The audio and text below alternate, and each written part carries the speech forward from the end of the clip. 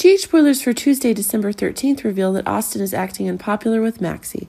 It seems that the conditions of Austin and Britt's interaction are more certain than ever, but if Maxie herself seems to be having jealousies that can explode even more, it's the hatred that Maxie is having for Britt that's growing more and more.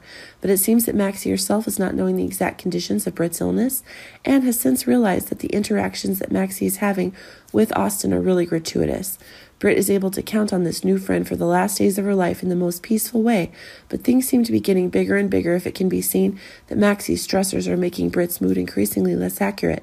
But things seem to be getting more and more explosive, and that's leading to certain discomforts for Britt. Sonny and Nina seem to be running into new troubles. Remember that things are getting more and more explosive, and that's causing the math and love of both of you to have real problems. It's safe to say that things are getting more and more explosive, as Carly's calculations are increasingly leading to one of the big ideas of a sabotage.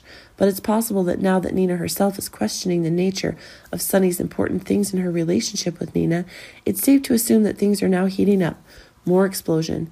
But it seems that when everything is unable to get the correct answers, Nina and Sonny are now facing an even bigger question when it is the hidden meanings that Carly has increasingly influenced the lives of Sonny and Nina.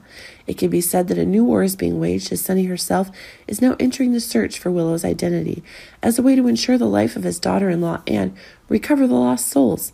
Family trust.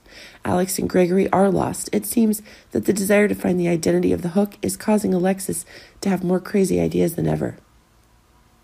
But it doesn't have to have any effect as the identity of the hook is still a mystery. It's possible that it's Alexis and Gregory who really don't know what to say right now, as the plan to release the secret letter doesn't work. It's possible that things are going according to a different plan now, and it's certain that Alexis and Gregory are under tremendous pressure from the people of the town. And when things are slowly coming to an end, it's Alexis and Gregory who now need a bolder plan to ensure that what they are hoping for will come true. But keep in mind that things are still not getting any more accurate surprises now that the attacker is still in a mysterious area.